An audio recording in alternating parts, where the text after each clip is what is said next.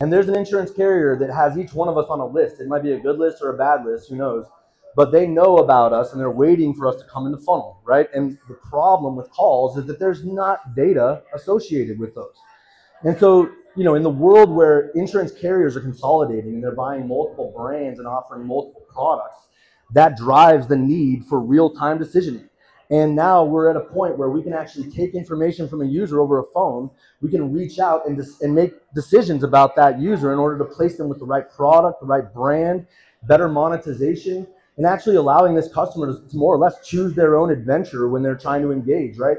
They want to dial in, and then if there's nobody available, you can send a direct offer or you can schedule follow-ups.